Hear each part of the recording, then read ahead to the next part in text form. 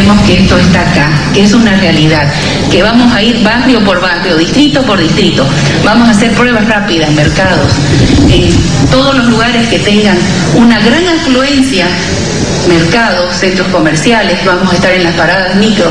Y ahí vamos a hacer una detención y vamos a combatir y vamos a salir adelante porque Santa Cruz siempre pudo. Siempre lo digo, estuvimos solos porque aquí un centralismo ni siquiera asumir sus competencias que es contratar. Ayer he firmado hasta horas de la madrugada más de 3.000 contratos.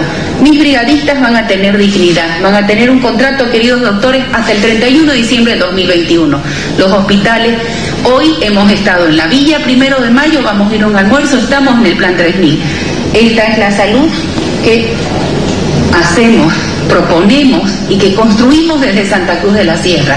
Ojalá que personas que hablan de centralismo apliquen esta palabra descentralizando la salud y podamos manejar ítem y los recursos que nos corresponden. Querido Jen, para que usted pueda, y gracias a nombre del gobierno autónomo municipal, aquí está la muestra de la ayuda, de la solidaridad y de un desprendimiento que lo valoramos con todo el corazón, querido Jen, para que usted pueda expresar a Santa Cruz y quiero que vean la humildad. Buenas tardes, somos la Fundación Suchi de Taiwán, fundado hace 54 años por la maestra Chen Yen. Es una ONG internacional que ayudamos en los momentos más difíciles. Quiero agradecer mucho a nuestra alcaldesa Angélica Sosa, que desde marzo venimos ayudando con equipo de bioseguridad y en este momento, gracias a los informes, a, la preocupación que ella tiene con su pueblo, que a alta hora de la noche siempre me habla porque necesitamos llenar cosas, y pasar realidad esta llegada de los 40.000 pruebas rápido que viene vía aérea por DHL, como usted puede ver, todo sin ningún costo para Santa Cruz. Muchas gracias a nuestra arquitecta. Esperemos que esta ayuda podamos controlar este, el COVID aquí en, en Bolivia. Gracias. Alcaldesa, ¿cuántas pruebas son y cuál va a ser entonces el plan que se va a realizar? ¿Cómo se van a desembarcar las brigadas de ahora en adelante con todo este material? Va a ser un plan masivo. Esto nos da la herramienta científica para un estudio de cero prevalencia, pero de forma masiva. Hay un rebrote, vamos a salir mucho más reforzados. Las brigadas médicas, mis doctoras, estaremos en las calles. El primer nivel se vuelca al vecino.